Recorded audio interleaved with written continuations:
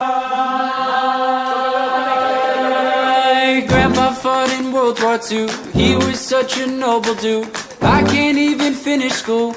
Missed my mom and left too soon. His dad was a fireman who fought fire so violent. I think I bored my therapist while playing him my violin.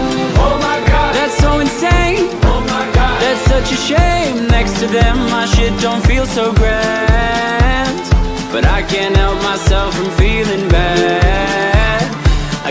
Feel like two things can be said.